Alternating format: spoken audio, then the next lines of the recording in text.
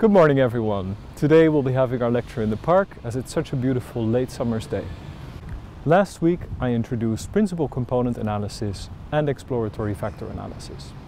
Principal component analysis was just a rotation of the axes of our data. There was no modeling involved. And I already explained that exploratory factor analysis is a very simple rudimentary model of the covariance matrix of your data. Now today I want to build upon that idea of exploratory factor analysis and introduce the topic of confirmatory factor analysis to you. First I'll be introducing the difference with EFA, then we'll be discussing scaling issues in latent variable models. We'll discuss model fit, um, both the basic chi-square test and other indices of model fit. And finally, I'll lay the foundation for next week's topic, which is introducing means and intercepts into our latent variable models. Let's go. So first let me emphasize the distinctions between EFA and CFA. We do EFA when we're doing an inductive approach to theory development. For example, we've administered a lot of items related to morality, but we don't yet have a theory as to the structure of morality. In this case, EFA can help us decide how many distinct components are present in the data. Confirmatory factor analysis, on the other hand, is a more deductive technique. We use it when we have an a priori theoretical model for our data. In EFA, the number of factors is often determined a posteriori. That is to say, we compare solutions with a different number of factors and we have tools such as parallel analysis to help us decide what the optimal number of factors is. In other words, this is a data-driven approach. In confirmatory factor analysis, the number of factors is always specified a priori, and in fact we have to decide which items belong with which factors. This makes it a very theory-driven approach. In EFA, all of the items load on all factors, and it is an empirical question how strong the loadings will be of each item on each factor. In confirmatory factor anal analysis, on the other hand, we decide which items load on which factors, which means that some of the loadings have been fixed to zero. In EFA we often use an oblique rotation or an orthogonal rotation to make sense of our factors, to interpret them after we've estimated the model. And in confirmatory factor analysis, no rotation is necessary. We can, however, specify which factors are allowed to correlate. Another thing is that EFA can be conducted in most statistical packages. For example, SPSS can do it off the cuff, the R package Psych can do it. And for confirmatory factor analysis, we need dedicated structural equation modeling software. Now, in the free open source software environment R, we typically use the package Lavaan to estimate our structural equation models. So let me take you back to last week and show you a picture of an exploratory factor model.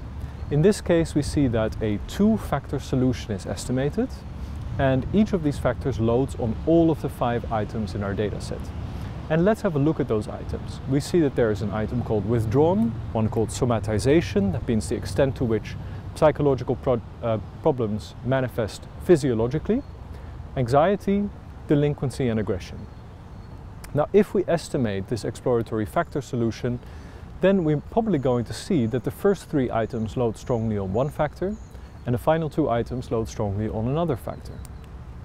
We might also see that if we allow an ob oblique rotation, that these two factors are probably correlated, as problem behavior typically manifests itself in different ways. So we might see that both what we call the internalizing problem behaviors, uh, such as being withdrawn, anxious, and displaying somatization problems, and the externalizing problem behaviors, which is that you act out uh, on other people, are associated with one another. We could, however, also take this theoretical background knowledge and involve it when we build the model. We could say, well, we have a pretty good idea that the first three behaviors are internalizing problem behaviors and the final two behaviors are externalizing problem behaviors. Why don't we specify our model a priori in such a way that there is one factor which we label internalizing which has loadings on the first three items and we have a different factor which we label externalizing which has loadings on the final two items. Of course, using our theoretical knowledge, we could allow these two factors to be correlated. Let's dig a little bit deeper into this picture. We can see that following the graphing convention, um, we see directional arrows from the latent variables towards the observed items, and these we term factor loadings. And their interpretation is the same as any regression coefficient. In other words, if the internalizing factor goes up by one point, then the score on the observed variable anxiety goes up by b points, however big the factor loading is.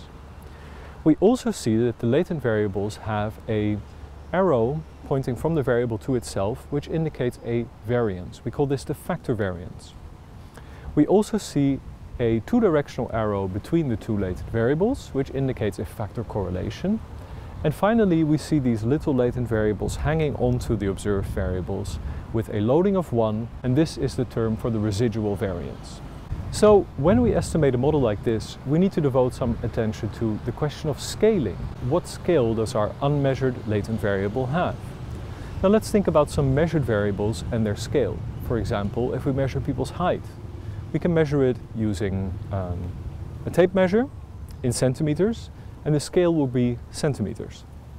We could also administer a questionnaire with Likert type response items from 1 to 7, and maybe our questionnaire is about happiness, in which case we could say we've measured happiness on a scale from 1 to 7. That is its scale. Now the problem with latent variables is that they capture something that we did not measure. Remember, we use our observed variables as indicators of an unmeasured latent variable. So what is the scale of something that we did not measure? Well, the answer is we define the scale. And we can define the scale in two different ways. The first way that we can define it is to fix the factor variance at 1. Then basically we say this latent variable is a standardized normal variable with a mean of 0 and a standard deviation of 1. The interpretation then becomes a plus 1 standard deviation increase on the latent variable is associated with plus 1 times the factor loading increase on the observed variable. A different way to set our scaling is to fix one of the factor loadings to the value of 1. This means that the scale of the latent variable becomes linked to the scale of that observed variable. If that latent variable increases by one point, then the observed variable also increases by one point. Both of these two ways are valid, the only difference is how we interpret our model parameters. So let's look at this in a graphical manner. So each factor needs to be assigned a scale. For example, we could scale the variables by fixing their variance to 1. Then we have standardized normal latent variables. Let's also devote some attention to the number of parameters in our model. I count 11. How many do you count? Let me explain. I see five observed variables, each of which has one residual variance. The factor loading for the residual variance is not relevant because that is also fixed to 1. I see five regression coefficients, which can also be called the factor loadings. Three for the internalizing factor and two more for the externalizing factor. And finally, I see one covariance as indicated by the double-headed arrow between the two latent variables, 11 parameters. Now it's also possible to scale these latent variables by fixing one of the factor loadings for each of the latent variables to be equal to 1. We fix it to a constant value. This does not change the number of parameters in the model. Let's count again. Instead of five regression coefficients, we now have just three, because two of the regression coefficients have been fixed to be equal to one. But what has been freed are the variances of our latent variables. We freed two of the variances, which are now estimated. In other words, we've lost two of the parameters in terms of the regression coefficients and we've gained two parameters in terms of the latent variable variances. So we're left with the same number of parameters in the model. This type of scaling is the default setting in Lavaan, but you could change it by using the argument std.lv equals true, standardized latent variables equals true. And this argument also indicates that by fixing the latent variable variances to be equal to 1, we have in fact created standardized latent variables. So let's take a little technical intermezzo to discuss the issue of model identification. I've already explained in the first lecture that a model must be identified in order to be able to fit it. And identification means that we don't ever try to estimate more parameters than we have pieces of information. And a rule of thumb is to say the degrees of freedom of the model must be equal or greater than zero. So what were these degrees of freedom again?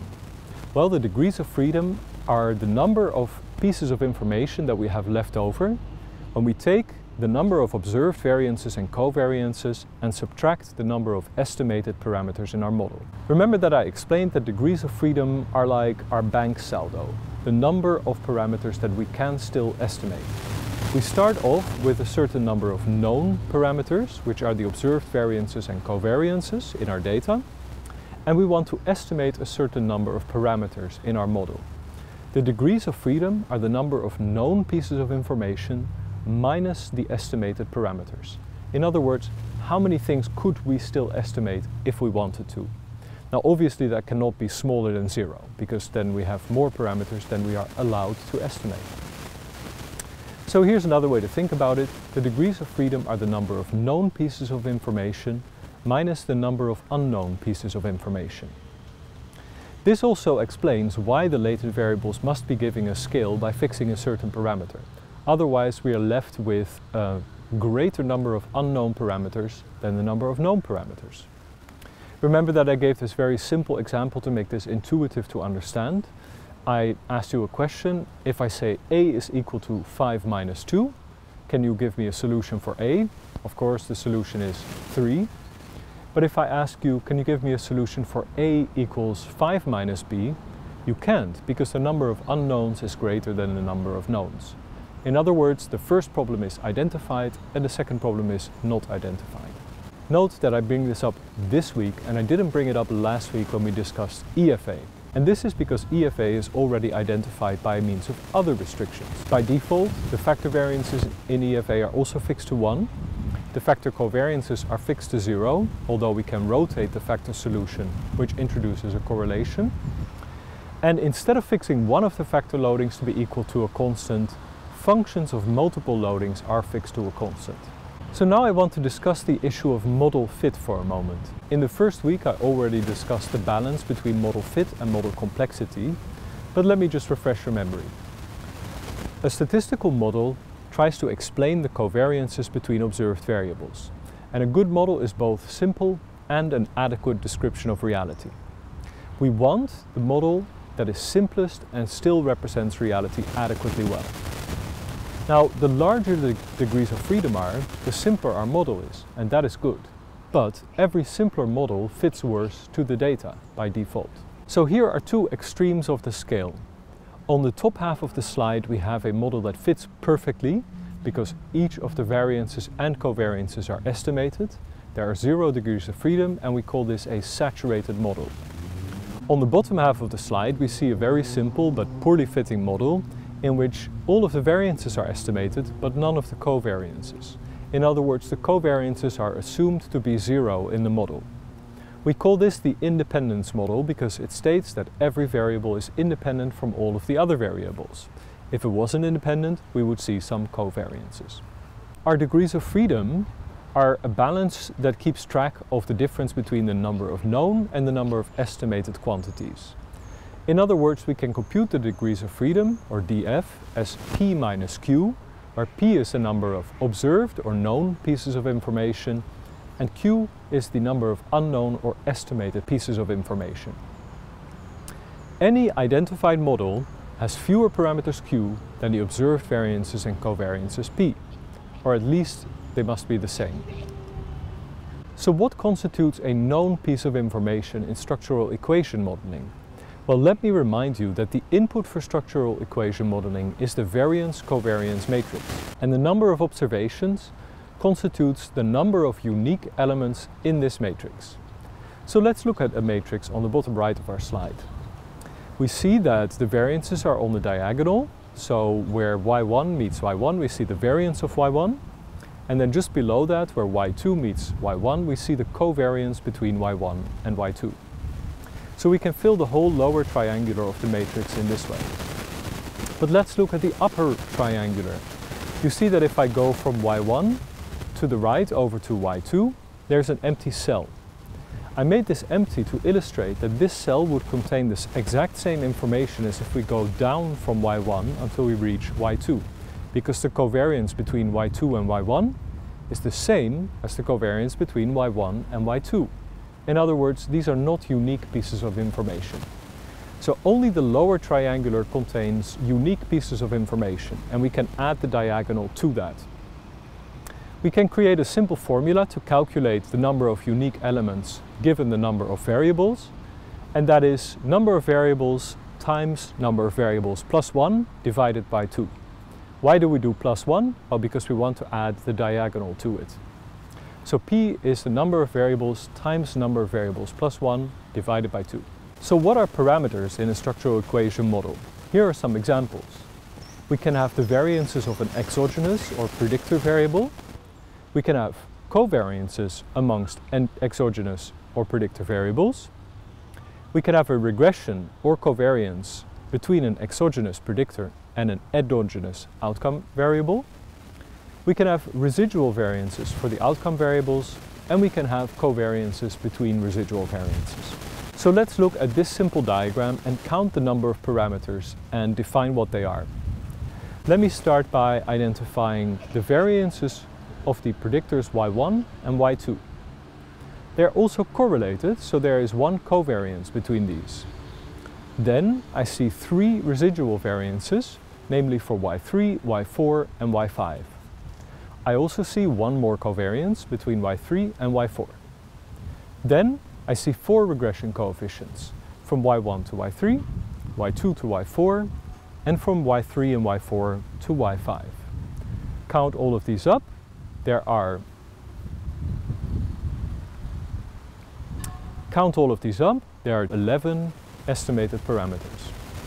Now we also have a certain number of degrees of freedom, and this is equal to the number of observed variables, 5, times 5 plus 1, so 5 times 6 in total is 30, divided by 2 is 15. So we have 15 known pieces of information and we want to estimate 11 unknown pieces of information. That leaves us with 4 degrees of freedom. Our model is identified and we can estimate it. Now let's look at this example. So what do I see? I see one initial predictor variable, x. It has a variance. Then I see m1 and m2, those both have residual variances because they are predicted by x.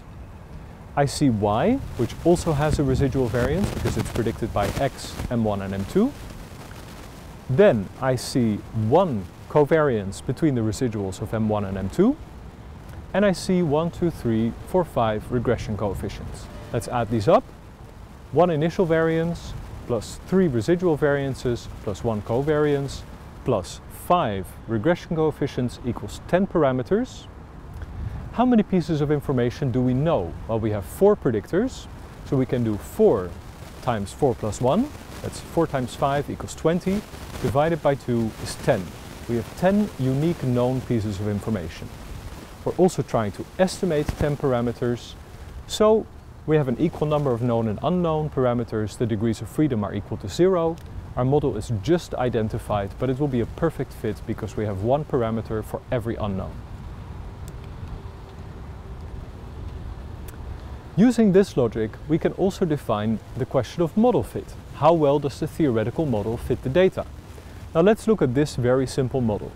X has a regression onto Y with a residual variance for Y, and Y has a regression onto Z with a residual variance for Z we don't see a direct effect from X onto Z.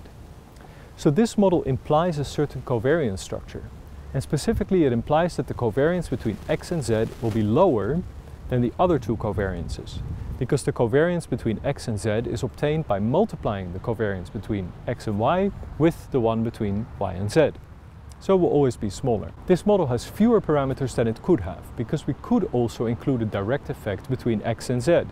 So model fit addresses the question of how close this model implied covariance matrix is to the observed covariance matrix. And specifically in the observed covariance matrix, there will be a covariance between x and z, but our model implied covariance matrix says that this is somewhat smaller. We estimate our model using maximum likelihood estimation. Now I'm going to show you a formula which you don't need to know, but it's helpful to get a little bit of an intuition for what it means. First, let me define three things. K is defined as the number of observed variables. S is the sample covariance matrix. In other words, it's the observed covariance matrix from our data. Sigma is the model implied covariance matrix. Now maximum likelihood estimation tries to minimize the objective function and that function is given as f sub ml and is equal to the log of absolute sigma minus the log of absolute s plus the trace of s times sigma inverse minus the number of observed variables k. So this log of absolute sigma minus log of absolute s relates to the difference between sigma and s, so how big is that difference? And this trace relates to how big is the diagonal minus the number of parameters k. So basically what we see here is that this calculates the difference between the observed and the model implied covariance matrices. From this objective function we can obtain a chi-square test statistic for the model. And this chi-square is given by taking the number of participants minus 1 multiplied by the minimum value of the objective function with the degrees of freedom, which we calculated before, equals to p minus q. Now we have a test statistic for the model fit. And this test statistic is asymptotically chi-square distributed with the degrees of freedom equal to p minus q. So what hypothesis are we testing when we conduct a chi-square test? Well, the null hypothesis is that the population covariance matrix is equal to the model implied covariance matrix. The alternative hypothesis is that these two are not the same. Now because we're calculating squared deviations between the two, we can use a chi-square test statistic which only takes on positive values. So let's take the sample covariance matrix S to be an estimator of the population covariance matrix sigma population. If we then reject the null hypothesis with a p smaller than 0.05, this means that our model fits the data poorly. In other words, it would be unlikely to observe this sample covariance matrix if the population covariance matrix was equal to the model implied covariance matrix.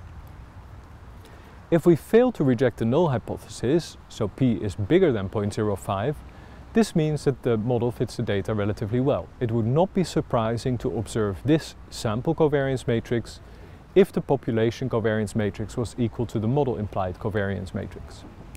So let's look at an example of the sample covariance matrix versus the model implied covariance matrix. Let's do a simple linear regression between the time spent studying and the grade obtained for this course. We have an initial predicted time study, which has a variance, and it predicts your grade, which will have a residual variance epsilon, and a regression coefficient from time spent studying to the grade. This is our observed variance covariance matrix. We see the variances of time spent studying and of the grade, and we see a covariance between the two. Now we can assign symbols to each of the coefficients in this model. Specifically, we have sigma square sub y1 for time spent studying. We have a regression coefficient called b sub 1 for the regression. And our residual variance is sigma square sub epsilon. We can also write this as a formula which says every individual grade grade sub i is equal to some regression slope b sub 1 times the time spent studying for every individual sub i plus prediction error for every individual sub i. And the prediction errors are normally distributed with a mean of zero and a variance of sigma square sub e. Now let's look at the covariance matrix implied by that model. We see that time spent studying still has its original variance, sigma square sub y1.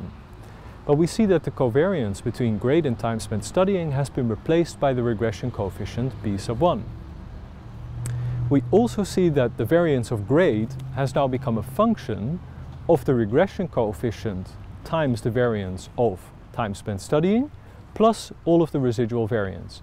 Another way to look at it is that the variance of grade has been broken up into a part that is explained by time spent studying, that is the b square sub 1 times sigma square sub y1 and an unexplained part which is sigma square sub e.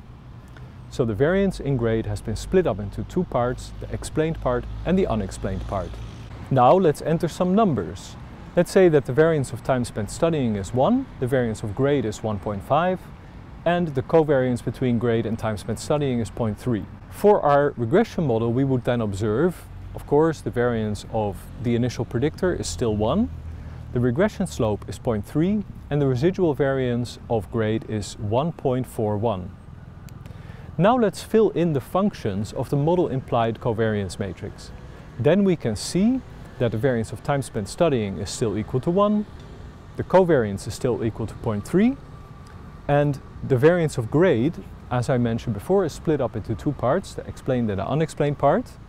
The explained part is the initial variance of time spent studying times the regression slope squared, so that is 0.09, plus the unexplained variance, which is indeed 1.41.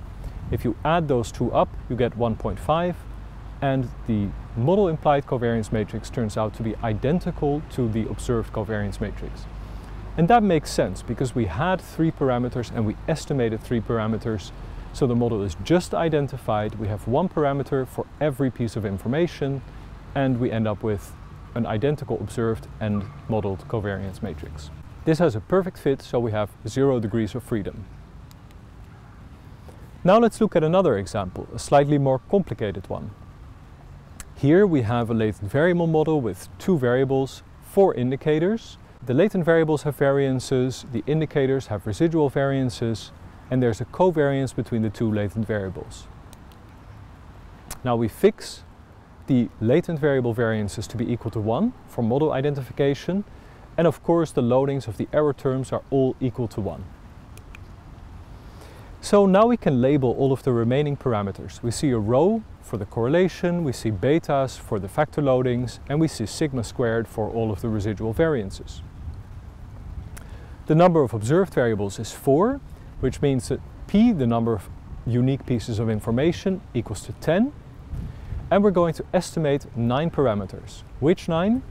The factor correlation, four factor loadings and four residual variances. So we have one degree of freedom left. This is the sample covariance matrix from our data and we have data from 543 participants. We can derive the model implied covariance matrix using the tracing rules, which are explained if you follow this web link, but it's not necessarily material for this course, but it works the same as in our linear regression example. Let's look at this model implied covariance matrix. We see that the variance of the first indicator is equal to the first loading squared plus the residual variance of the first item and the same applies for each of the other item variances. But if we look at the covariance between the first item and the second item, we see that this is equal to the first factor loading times the second factor loading. So these are multiplied together. And that is what the tracing rule means. We can start with item 1 and go to item 2 and we have to multiply and sum up all of the paths by which we can get from item 1 to item 2. Now in this case there's only one path, namely from item 1 through factor 1 to item 2. In doing so we pass through beta 1 and beta 2, so we have to multiply beta 1 with beta 2 to obtain the model implied covariance between those two items. So after estimating the model, we here on the top half of the slide we have the observed covariance matrix, on the bottom half of the slide we have the model implied covariance matrix, and we can get a chi-square test. This chi-square is a value of 5.28 with 1 degree of freedom and a significant p-value of 0.02. In other words, it would be unlikely to obtain this sample covariance matrix if the model implied covariance matrix was equal to the population covariance matrix. Another way of putting this is that our model fits significantly worse than a fully saturated model. So what do we do now? We have a poorly fitting model. What is our next step? Well, as it turns out, there's a problem with the chi-square. And the problem is that if we have a very large sample size n, then we have very high power to detect even small discrepancies between the observed and model implied covariance matrices. And in practice, we often find that the chi-square is always significant. If we have a small n on the other hand, we have very low power to detect large discrepancies between the observed and model implied covariance matrices and we end up with a chi-square that is usually not significant. In other words, chi-square is very dependent on your sample size, but it's not always reliable to detect meaningful differences between the observed and model implied covariance matrices. So in practice what we end up doing is that we always report the chi-square, DF and p-value, but we focus our attention on other fit indices as well. So what are these other fit indices? Well, first of all, we have the root mean squared error of approximation, known for short as RMSEA.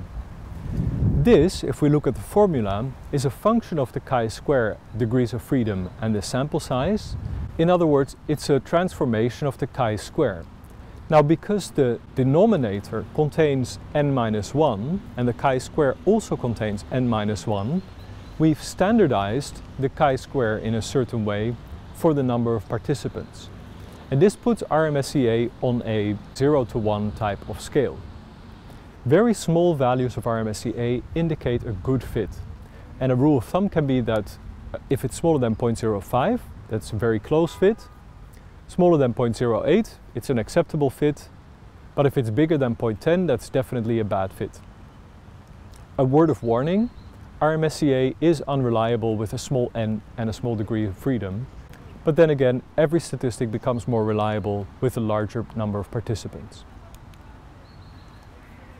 We can also compute the comparative fit index, known as CFI, which is a chi-square comparison to the baseline model.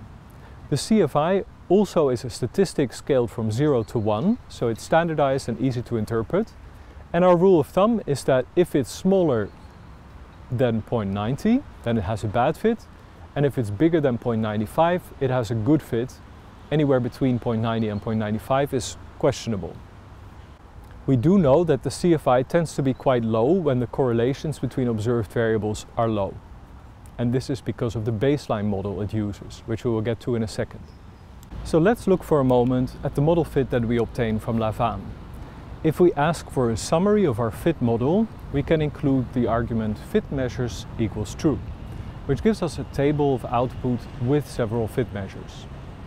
First of all, we see a model test for a user model, which is the chi-square of the model that we specified. But below that we see a model test of the baseline model. So what is this? Well, this is in fact a chi-square test of a rudimentary default model. And we get this so we can compare the fit of our model to that of a default model. So what is this baseline model? Typically it is the independence model, which is a model, which is a model that specifies only variances of the observed variables and therefore all covariances have been fixed to be equal to zero.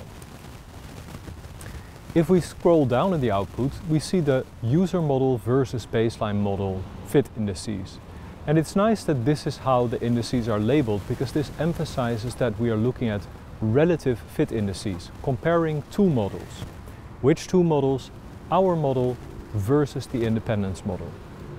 So here we see that the CFI has a value of 0.88 and the TLI has a value of 0.84. TLI is interpreted on the same scale as the CFI. Then we see log likelihood, we see AIC, BIC, and we see the RMSEA. And the RMSEA in this case is 0.11. All of these fit indices point at a bad fit of our model. The AIC and the BIC are interpreted simply as such. A lower value is better, but they are not on any standardized scale. And the SRMR is interpreted somewhat similar to the RMSEA in that values smaller than 0.10 indicate acceptable fit. So here we're in a situation where the model has poor fit according to most indices. And what do we do if the model doesn't fit? Well, we don't interpret the parameter estimates. The poor fit indicates that there are some serious deviations between the model implied and observed covariance matrices and therefore the parameter estimates could be misleading. What we could do is revisit the theory and make sure that our model accurately represents it, or we could modify the model to accommodate for any paths that have been misspecified. So let's have a quick look at this factor analysis. We have here nine items which are explained by three latent variables. Our theory said that the first three items belong to a factor called motivation. The next three belong to a factor called satisfaction. And the final three belong to a factor called self-confidence. However, we obtained a poor fit and we found that if we include a cross-loading from self-confidence onto the item acceptance, which belongs with the satisfaction scale, and if we allowed a residual correlation between the residuals of fun and social skills, then our model fit does become acceptable. So you could decide to make these data-driven changes to the model. Another example might be that we have 12 items which are all designed to measure mathematical ability. But as indicated in the fit indices on the top left, RMSEA is acceptable but CFI is too low. Well, in this case it could be that items 7 through 12 were not just measures of mathematical ability, but they were also measured in terms of reaction time. So we could hypothesize after observing the poor fit that mathematical questions, which are timed, might not only tap into mathematical ability, but also into people's speed. If we include a second factor that is allowed to load on all of the timed items, then we observe that the RMSEA is very low, so it's very good, and the CFI is very high, so that's also very good. And our model fit has become more than acceptable. Because we now have two what we call nested models, which means that if we simplify one of them, we end up with the other one, we can compare the chi-squares of these two models. And we find that a comparison of these chi-squares is also chi-square distributed, with the degrees of freedom equal to the number of added parameters. And the significance of this chi-square test is smaller than 0.01. In other words, adding this speed factor has significantly improved the fit of the model. So here is the result from a published paper where they indeed included the speed factor and then they also included age and gender as control variables on two of the items, y1 and y2, and they included correlations between age and gender, mathematical ability and speed. And this final model had a very good fit as indicated by the fit indices below the image. Now I just want to give you a small preview of what we're going to be looking at in the coming lectures. After you've done confirmatory factor analysis, it is possible to extend the model and include outcome measures or predictors and any kind of regression effects that you want to include. Now in the first lecture I explained that this combination of factor analysis and regression is called structural equation modeling. And the major advantages of this technique is that you estimate all of the parameters in one go rather than estimating many analyses and step by step piecing together your model. Another advantage is that by including a measurement model in your regression, you can control for measurement error and a final advantage is that you can test the fit of your entire theoretical model with just one fit statistic. Another possible extension is to create a so-called second order CFA. And this means that we estimate a factor analysis onto the latent variables of a first order CFA. So in this image we see several observed variables. Each combination of three observed variables uh, measures a latent variable and then all of those latent variables in turn serve as indicators for a second order latent variable. So in what circumstances could a second order latent variable model be useful? Well, for example, when there are multiple factors which can be explained by some common theoretical construct. For example, IQ tests typically have subtests for different types of intelligence.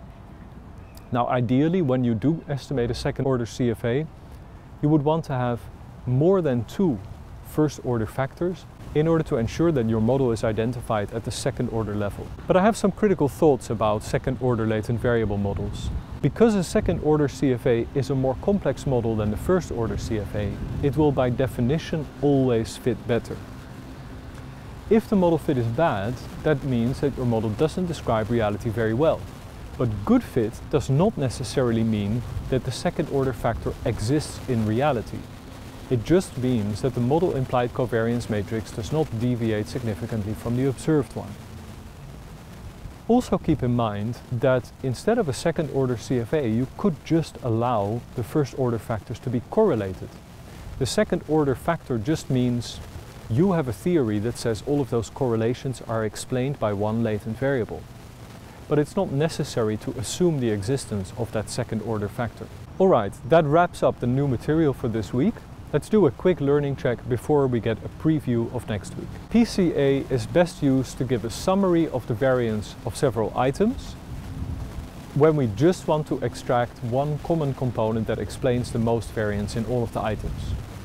EFA is a simple model-based approach where each of the items can load onto multiple factors and we can use it to check how many factors are in the data. Finally, CFA is used when we have a strong theoretical model to check whether this model is supported by the observed data. Until now, we've modeled only the variances and covariances. And that means that we have ignored any means or intercepts of the variables in our model. For example, if we look at this linear regression, we might say that grade also has an intercept and then for every hour you study, you get a little bonus on your grade. Now thus far the intercept has been omitted from the functions and from the models themselves. But recall from your basic statistics that every observed variable has a mean. And in structural equation modeling we can also estimate this mean and we can estimate an intercept for variables that are predicted by other variables. In structural equation modeling you can generally choose whether to estimate means and intercept or not to do so. If you choose not to estimate means, then your data constitute the observed covariance matrix and your model constitutes a model implied covariance matrix. If you do include means, then you will also add a vector of means to your observed data and a vector of estimated means and intercepts to your model. Including the mean vector will result in a different number of estimated parameters, but surprisingly it does not change our model's degrees of freedom. And this is because we add z observed means to the data and we also estimate z means or intercepts in our model. So the number of additional pieces of information and additional unknown pieces of information are the same. This topic will be covered in more detail in the coming weeks when we discuss general linear modeling and multi-group models.